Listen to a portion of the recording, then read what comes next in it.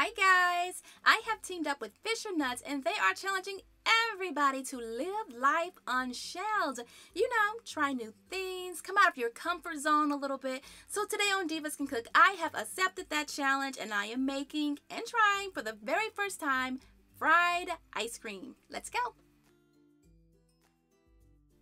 Okay, we're to start with our ice cream. Use your favorite vanilla ice cream. I'm using a large cookie scoop. I'm just to scoop out 12 balls here and place them right into my muffin pan that I have lined with a little bit of plastic wrap.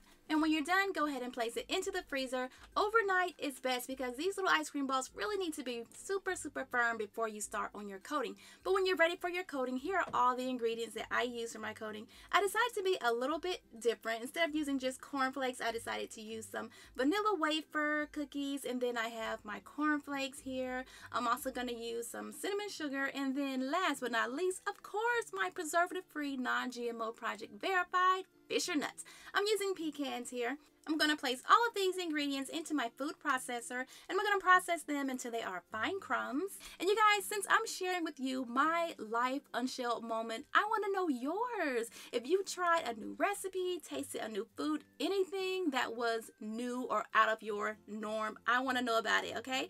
Leave a comment below with the hashtag live unshelled and hashtag think Fisher. You know, give me some more inspiration, guys, all right? our crumb mixture is done. Now we're going to move on to our eggs. In a separate bowl, I have my eggs.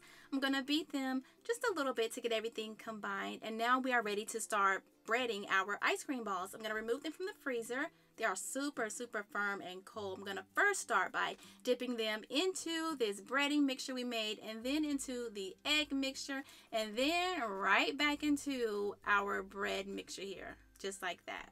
See that? So very, very easy. I was very surprised. It was so easy, you know. Okay, now we are pretty much done. We're going to freeze this overnight. This has to freeze overnight, okay? Overnight. And then when you're ready to fry your ice cream balls, here they are, nice and firm. Everything's ready to go right into the oil. I have my oil already heating up in my deep fryer. I'm just going to place these right into the basket of my deep fryer, just like this.